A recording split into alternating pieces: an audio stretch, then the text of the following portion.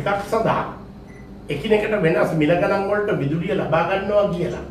මෙහෙම විකාර රූපී ටෙන්ඩර් අනුමත කරන්න පුළුවන් ක්‍රමයක් තියෙනවා. ඒ ක්‍රමවේදය කුමක්ද?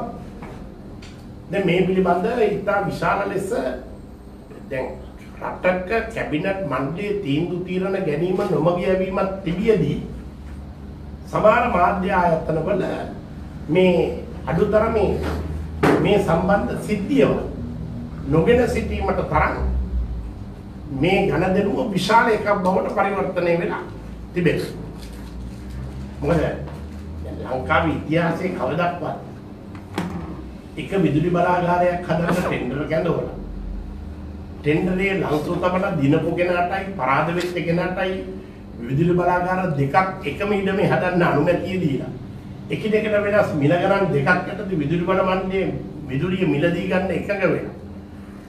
මහජන උපයෝගිතා කොමිසම ඇතුළු ආයතනවල නිසි අනුමැතිය ලබා නොගෙන කැබිනට් පත්‍රිකා අනුමත වෙලා නීතියේ තියෙන විදුලි බල මණ්ඩල පනතේ විධිවිධාන උල්ලංඝනය කරනකොට එහිදීත් රටක් වශයෙන් නිහඬව ඉන්නවා නම් මේ රටට අනාගතයක් හෝ මේ රටට ඉදිරි ගමනක් තියනවාද කියන ප්‍රශ්නේ මතුවෙන්නේ නැද්ද කියන ප්‍රශ්නේ මම තමුන්නාසලකින් අහන්න.